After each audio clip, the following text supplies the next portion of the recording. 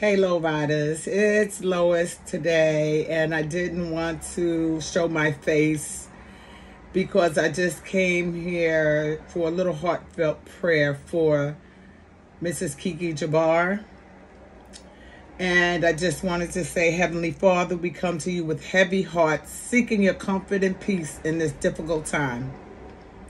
We lift up the Jabbar and Scott families, asking that you wrap them in your loving embrace as they grieve the loss of our beautiful and lovable Keke Jabbar. May they find strength in their cherished memories and solace in the love and support of family and friends. Lord, please guide them through the season of sorrow and grant them the peace that surpasses all understanding. Amen.